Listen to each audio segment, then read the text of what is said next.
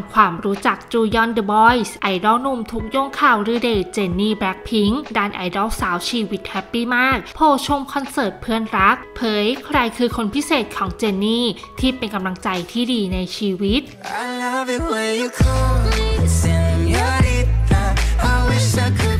ถูกโยงเป็นข่าวลือกันแบบงงๆสำหรับ 2 ไอดอลเกาหลีอย่างเจนนี่แบล็คพิงค์และจูยอนเดอะบอยเมื่อล่าสุดมีชาวเน็ตโยงความสัมพันธ์ของทั้งสองคน จากการโพสต์บางอย่างลงในโซเชียลมีเดียที่คล้ายๆกัน โดยชาวเน็ตได้อ้างว่าเมื่อวันที่ 23 ธันวาคม จูยอนได้โพสต์เพลงสโนว์ของไซออนที พร้อมกับถามว่าหิมะจะตกไหม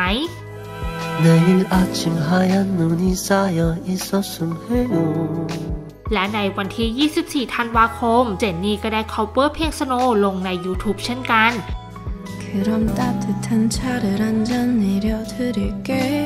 แถมชาวเน็ตก็ยังได้อ้างต่อว่าเมื่อเร็วๆนี้เห็นจูยอนอยู่ในคอนเสิร์ตของแดเนียล และเจนนี่ก็อยู่ที่นั่นด้วย นอกจากนี้จูยอนก็เริ่มมีเพื่อนใหม่ในวงการโมเดล ซึ่งก็บังเอิญเป็นเพื่อนกับเจนนี่ด้วยเช่นกัน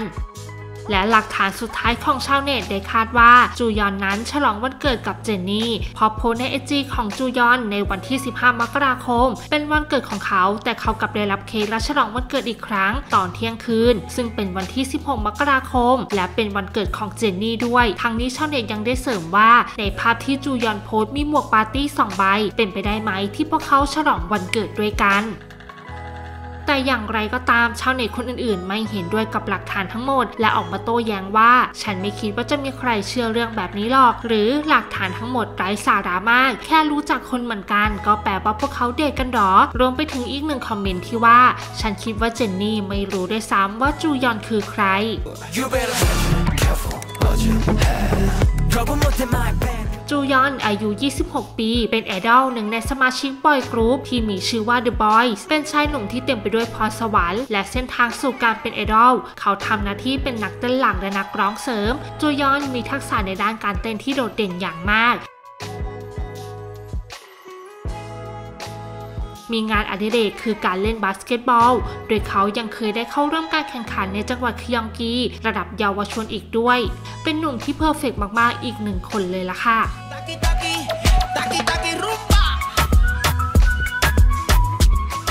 ส่วนทางด้านของสาวเจนนี่ก็ no สน no care ออกมาใช้ชีวิตสุดแฮปปี้ ไปชมคอนเสิร์ตมันๆของเพื่อนคนสนิทอย่างโชซึงยอนหรือ WOODZ เมื่อคืนที่ผ่านมา เรียกได้ว่าเป็นโมเมนต์ที่น่ารักอย่างมากทีเดียว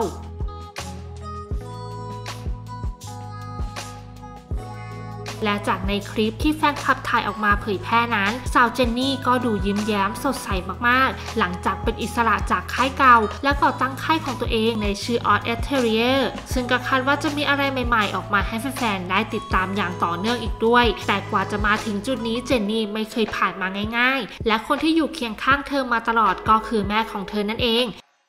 อย่างล่าสุดเจนนี่แบล็คพิงค์ได้รับช่อดอกไม้สีน้ำเงินช่อโต จากคนพิเศษคนหนึ่ง ซึ่งก็ได้มีการมาเฉลยแล้วว่า คนคนนั้นก็คือแม่ของสาวเจนนี่ ซึ่งท่านจะส่งมาให้ลูกสาวในทุกๆปี โดยการยึดถือประเพณีที่พูดถึงความผูกพันพิเศษระหว่างคนทั้งสอง ปีนี้ถือได้ว่าเป็นปีแห่งการแลกเปลี่ยนทางจิตใจ ที่เจนนี่พบว่าตัวเองนั้นประดับประดาไปด้วยความงาม เหนือการเวลาของดอกกุหลาบสีน้ำเงินจากคุณแม่ Hey, darling.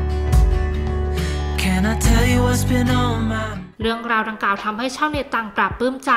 กับโมเมนต์สายสัมพันธ์ของสองแม่ลูกที่มีต่อกัน พร้อมกับแสดงความคิดเห็นว่าแม่ของเจนนี่เท่มาก สีฟ้าเข้ากันได้ดีกับเจนนี่มากๆ ฉันชอบโพสแบบนี้มันอบอุ่นหัวใจ ฉันคิดว่าโชคใหญ่ที่สุดก็คือการได้เจอพ่อและแม่ที่ดี เจนนี่ก็เหมือนเด็กน้อยเมื่ออยู่ข้างๆ แม่ของเธอ แม่ของเธอน่าทึ่งมากกุหลาบสีน้ำเงินสวยมาก เจนนี่เหมือนแม่ของเธอมาก และน่าประทับใจอย่างมากจริง ๆ